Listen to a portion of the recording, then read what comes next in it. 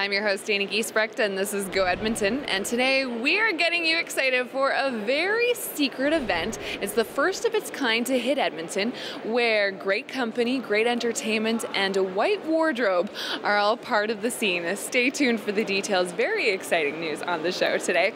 But before that, we learn the story of a local doctor who's working to help others, even after his own life changing experience. Take a look. A secret event with a white dress code. I promise we're going to reveal all the details on the show today. But before that, it's time for an all new Bobdale Gloves Big Summer. Okay, it's about time that I introduce the people sitting behind me, all dressed in white. In the tuxedo, we have Anthony with the French Alliance of Edmonton.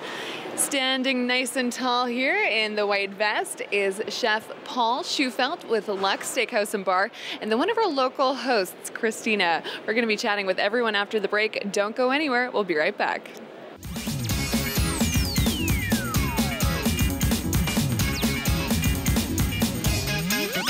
Welcome back. Once again, we are here at Lux Steakhouse and Bar, getting you excited for a very special event coming to Edmonton where everyone must dress in white. Like the three people joining me at this beautiful table, we have Chef Paul Shufelt with Lux, as well as local host Christina. And from the French Alliance of Edmonton, I have Anthony here. How would you describe this event in one word for all of our viewers?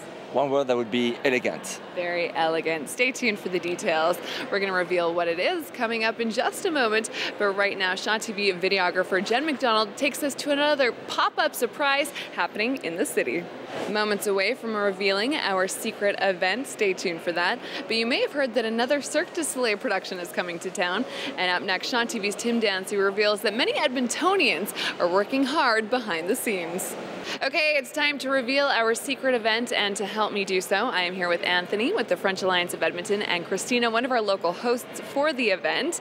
And dun dun, dun what's happening on July 17th, Anthony? On July 17th, we're going to have the Dîner en Blanc. It's a big, fancy picnic. We're gathering uh, 1,200 people. Right. We're all going to be dressed in white from head to toes. Like you are right Just now. like I am right now. and we're going to bring our chair, our table, our picnic basket to have a fancy picnic, a fancy dinner with friends or neighbors, or people we don't know. Okay, So- very cool. Yeah. Are we bringing our own food? Is food provided? How does that work? You have the choice to bring your own food, or you can order from a cutter. But uh, the idea is, you know, to bring your own food, your own uh, china, everything, no paper, no plastic. Everything has to be fancy and classy. Very nice. Now, this isn't an original event. Edmonton, it didn't start here.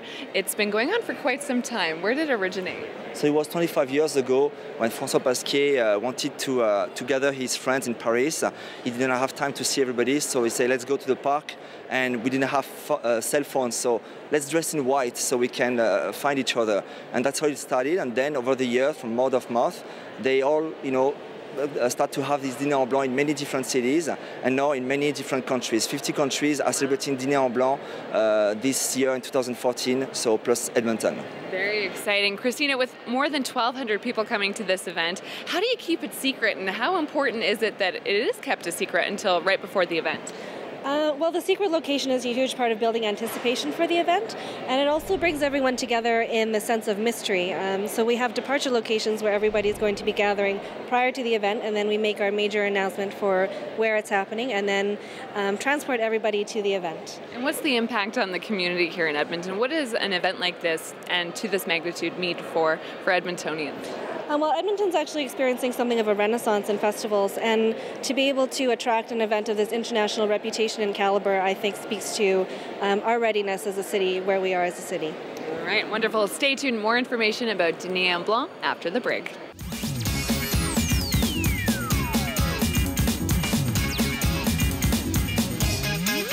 Welcome back to the show. This is Chef Paul Shufelt with Lux Steakhouse and Bar.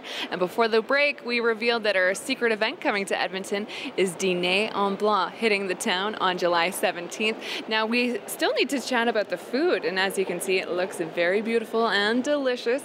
We'll be chatting with the chef in just a moment. But before that, I recently had the opportunity to chat with indie folk rock band The Head and the Heart on their recent trip to Edmonton and meet some of their loyal, dedicated fans. Okay, so as promised, we are now speaking with Chef Paul Shufelt of Lux Steakhouse and Bar.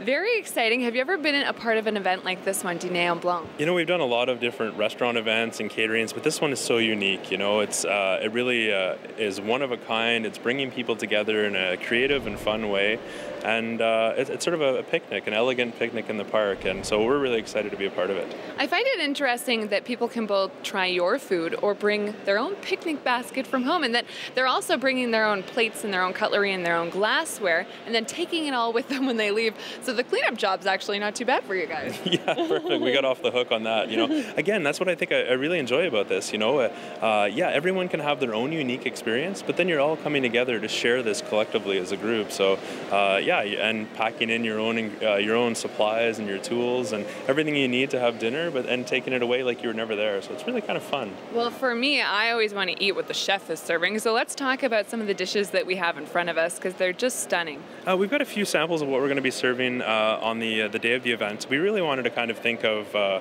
uh, summery items, highlighting fresh and, and, and, local and summer ingredients. We also wanted to think about you know picnic food, but sort of raised to a, newer level. So here in front of us, we've got a beautiful uh, tuna niçoise salad. So we've got some ahi tuna, some quail eggs, beautiful Gull Valley tomatoes, some baby potatoes, some haricot vert, really like early summer vegetables. Mm-hmm. Um, and it's all tossed in a wasabi miso vinaigrette. Uh, here we've got, uh, for dessert, we've actually got a beautiful uh, honey lavender yogurt panna cotta. Delicious.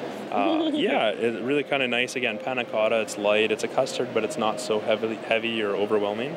And then our other entree that you've other entree, we've got a, a just a, simple dish. Again, sort of thinking of chicken and summertime. So we've got a uh, chicken breast that's been uh, marinated with Dijon and a little bit of fresh thyme roasted off, and then it's sitting on a red quinoa tabbouleh salad and a little bit of uh, uh, preserved lemons on the top. Excellent. Well, I know it is a secret event, but are you at least privy to the location yet? Uh, yes, oh, yes, I know, I know, I know okay. where it is. Wonderful. Well, if you want to register, there's still a little bit of time to do so. Hit up the website on your screen. Chef, thanks so much for your time. My Before we go, here's your on-the-go calendar.